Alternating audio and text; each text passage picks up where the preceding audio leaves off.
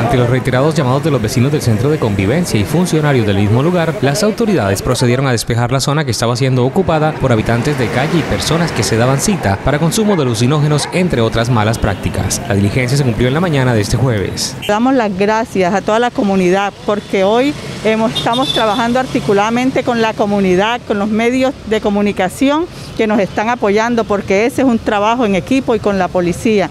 Hicimos hoy, eh, ahora en la mañana, eh, procedimos a hacer el desalojo teniendo en cuenta todas las quejas que se venían presentando, pero no lo habíamos hecho anteriormente. Eh, ya teníamos conocimiento porque habíamos hecho la inspección en el lugar donde sabíamos pues están consumiendo, están este, generando, perturbando el orden, la alteración de orden público. ¿Por qué? Porque pasan muchos niños, adolescentes, hay colegios cercanos y nos preocupaba eso.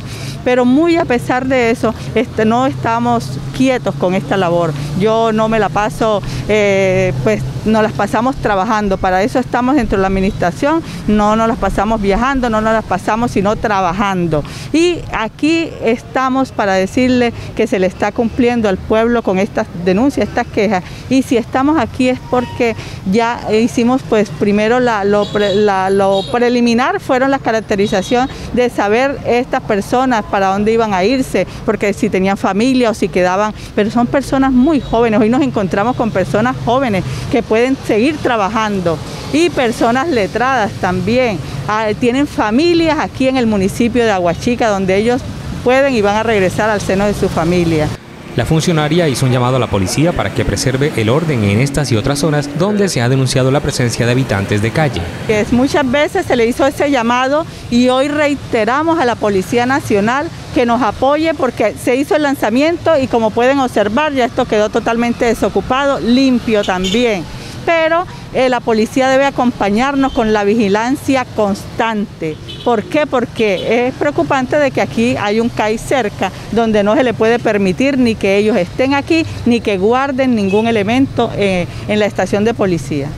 La ciudadanía espera que se recuperen otras áreas públicas y varios inmuebles que están siendo invadidos y se han convertido en focos de inseguridad.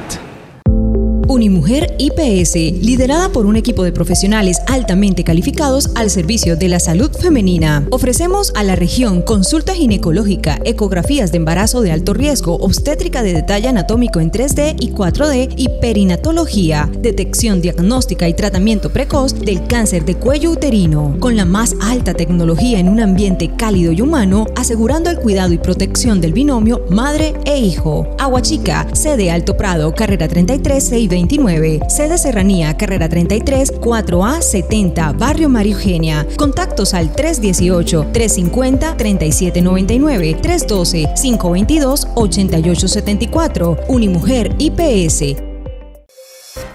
Somos Mi TV Noticias. Informamos con independencia y calidad.